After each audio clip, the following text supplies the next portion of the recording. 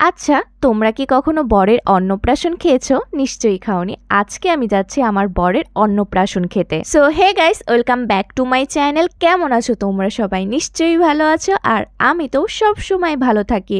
So আমি সেজে গুজে রেডি হয়ে গেছি বরের অন্নপ্রাশন খেতে আর এদিকে টোটোও চলে এসেছে।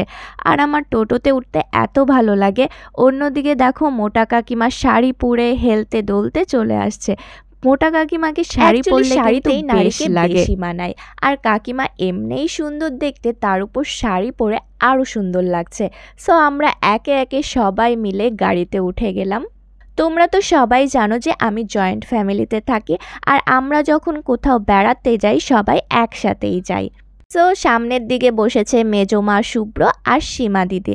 আর এইদিকে রয়েছি আমি আর মোটা কাকিমা। মানে আমরা দুজনেই খুব মোটা তো, তাই আমরা পেছনেই বসেছি। এই গরমের ভেতর রাত্রে কোথাও যেতে কিন্তু আমার বেশ ভালো লাগে। কিছুক্ষণের মধ্যেই আমরা পৌঁছে গেছি অন্নপ্রাশন বাড়ি। সো চলো এখন তোমাদের আমার বরের সাথে পরিচয় করিয়ে দিই।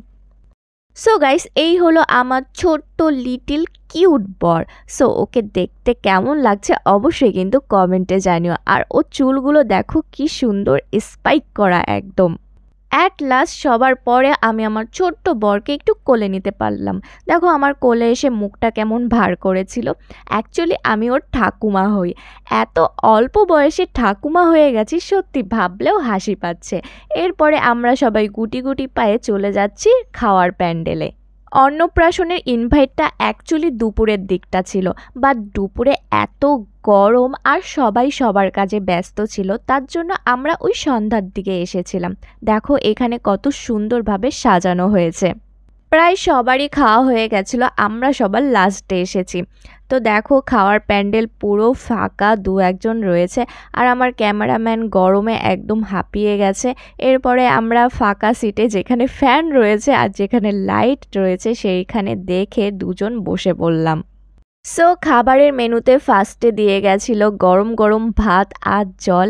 এখনও পর্যন্ত কিন্তু ভাতটা গরম আছে। এরপরে দিল লেবু আর সাথে ডাল। ডালের সাথে ছিল ঠান্ডা ঠান্ডা নেতিয়ে পড়া বেগুনি ভাজা। মানে আসলে আমরা দেরি করেই এসেছিলাম, তার জন্য বেগুনিটা একদম নেতিয়ে পড়েছে। আর এইরকম বেগুনি আসলে খেতে ভালো লাগে না, তবুও ডালের সাথে বেগুনি খেতে কিন্তু দারুণ লাগছিল, কারণ কি রান্নাটা খুব সুন্দর ছিল।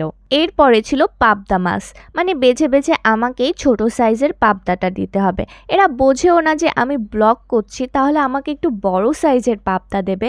তবুও বড় সাইজের পাবদা থেকে কিন্তু এই ছোট সাইজের পাবদাটার ভেতরে তেল মশলা বেশি ঢোকে, তাই খেতেও কিন্তু বেশ লাগে। এরপরে দিয়ে গেল রুই বা কাতলা মাছ। আসলে এই রুই বা কাতলার ভেতরে না আমার গুলিয়ে যায়। আমি এটাকে বড় মাছ হিসেবেই ধরি। তো মাছের পেটি ছিল না, পিঠের একটা সাইড দিয়েছিল, বাট খাবারের টেস্টটা কিন্তু দারুণ ছিল। আর এই রুই মাছের ঝোলটাও কিন্তু খুব টেস্টি ছিল। ঝোল খাওয়া হয়ে গেছে। এখন তাদের মনে পড়ল যে ডিমের ডেভিল ছিল আর সেটা দিতে ভুলে গেছে তারা। তো মাছ পথেই দিয়ে গেল ডিমের ডেভিল। ডিমের ডেভিলটা একদম ঠান্ডা হয়ে গেছে, সো অতটাও ভালো লাগছিল না খেতে। এইবার সর্বশেষে ছিল আমের চাটনি আর পাঁপড়। আমাকে আমের একটা আঠি দিল। আমের চাটনি, পাঁপড় দিয়ে খেতে আমার কিন্তু বেশ লাগে। তারপরে ছিল রসগোল্লা আর লট চমচম।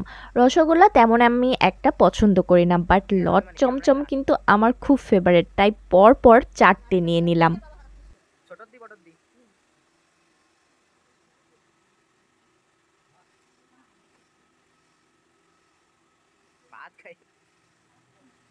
তাকাও। হাই করো। সবশেষে ছিল ভ্যানিলা ফ্লেভারের কর্নেটো। কর্নেটোটা খেয়ে খুব ভালো লাগছিল কারণ কি গরমের ভিতর আইসক্রিম খেতে কিন্তু বেশ লাগে। এরপরে আর কি কর্নেটো খেয়ে টেয়ে হেলতে দুলতে চলে যাচ্ছি বাড়িতে। আসলে খাওয়াটা এতটা বেশি হয়ে গেছিল যে গাড়িতে উঠতেই কষ্ট লাগছিল। সো গাইস আজকের ভিডিওটা কেমন লাগল অবশ্যই কিন্তু কমেন্টে জানিও। আর যদি ভালো লেগে থাকে তাহলে লাইক আর শেয়ার করতে কিন্তু একদমই ভুলবে না। তাহলে আজকের মতন এই পর্যন্তই। আবার দেখা হচ্ছে নতুন ভিডিওতে। Bye bye